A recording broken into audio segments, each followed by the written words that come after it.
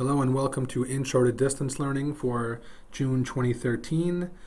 This video is about the three major points to consider when creating an online course. There are many things to consider when you're building an online course, but these are probably the three most important to keep in mind no matter what kind of content you're creating or what kind of design you envision. The first thing to think about is creating bite-sized content. I know a lot of the content in your course may be very complex. It's important to think of ways that you can break that down into smaller chunks. People may be viewing this on the train, on the bus, with a lot of distractions going on. We're competing for attention, and anything that lasts too long, you're kind of setting yourself up for failure that students won't be paying as much attention as you would like. So keeping it bite size is very important.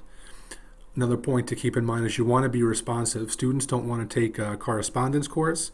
They want to feel like they're part of a class, they're part of a community. It's very hard to recreate that sense that you have when you're in a face-to-face -face class in an online environment, so you need to be as responsive as possible. And the last point to consider that you don't want to create dead-end content.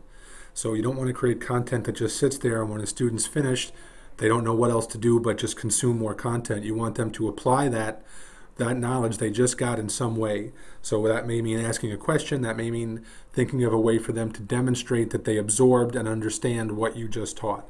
So those are the three basic principles, bite-sized content, be responsive, and avoid dead-end content. And we'll hammer this out a little further in the course.